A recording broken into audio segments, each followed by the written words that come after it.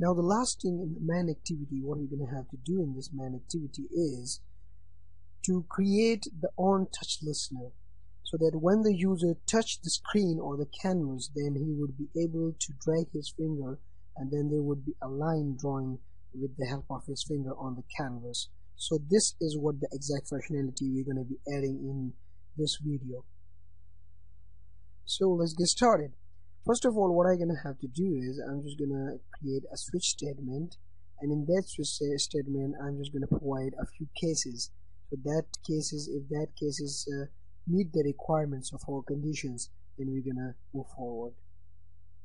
The action I'm going to be defining defining for this one is int. Action is equal to and I'm just going to change this to event. And this view to v for the sake of simplification and event dot get action. So what it will do is it will get the action of the touch listeners what you really want in that case. And then I'm just going to provide a switch statement. And there will be a key for the switch statement and the statements for the switch. Now the key here in this section would be actually the action we have previously defined because we are actually uh, matching this action with the action with these case scenarios. If this is if the action is up means that the user have put out the finger of the screen then we means that the action is actually going to have to uh, uh, stop drawing the line. And if the action is down and the user is still moving that action so which means that the user you're going to have to draw the line on the canvas so what I'm going to have to do is I'm just going to create motion event dot action underscore down. So what does it really means that the user have touched the screen? And now I'm just going to create the same case by copying this line. And then gonna uh, create action down. And that's it. Now I'm just gonna replace action down with a code of action and up. So action up would be better for like actions up. There it is. Now I am going to write another code that will be actually action underscore and cancel. And the last one which is actually uh, something which is action up and action uh, up action cancel means that nothing happens in that action the last thing I'm going to have to add in here is the action move. So I'm just going to write the move and there would be two options action move. So we have now the four case scenarios. I'm just gonna align it by pressing Control plus Shift plus F and then save it. Okay so we have now a very fine view of the switch statement. The case action underscore down the case action underscore up action underscore cancel and move these are the very important cases and we're going to have to move along with that so what we're going to have to do with this now the last thing what we have to do is to add the code to each scenario to match up with something now the variables what we have declared in the above section is down x, down y, up x and up y. We're going to be using it in here. We're going to be saving the action, the event action down of the user finger in the variable down x and then we will be using it for our further references and use. So I'm going to use down and there will be x and event dot get. And there are actually several options for event we're going to be using in this case. Now I'm going to get the X section uh, of options as well in this case.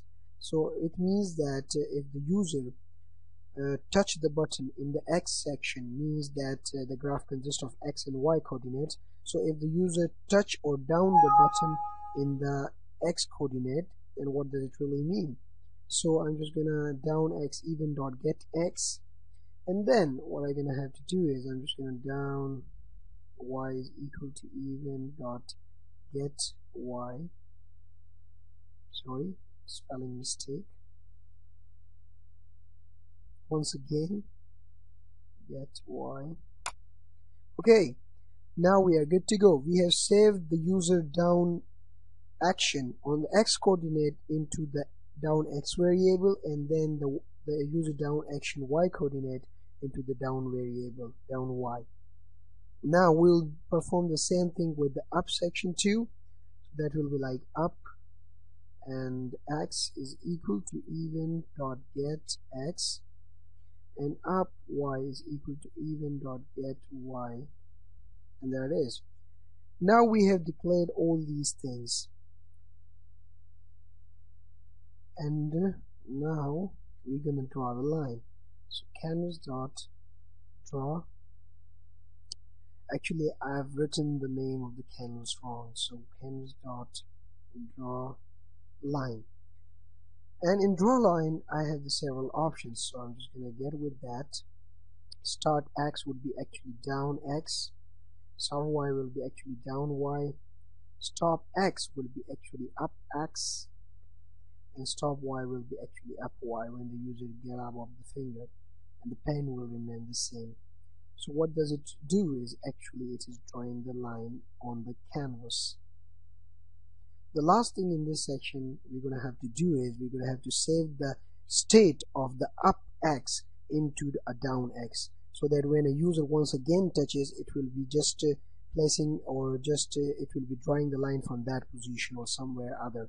So what you're going to have to do is you're going to have to down x is equal to up x which means when a user uh, put off his finger from the screen that will be actually one state and we are actually saving that state into a down state. So the down x state will now change to a new state of the user finger.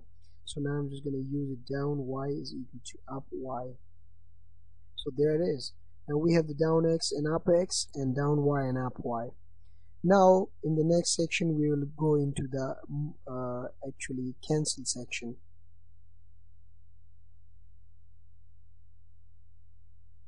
In the cancel section we don't need to do anything because it automatically backs out of this code.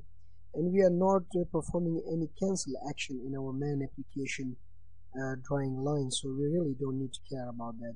The thing which we really care about is the action move when a user move the button.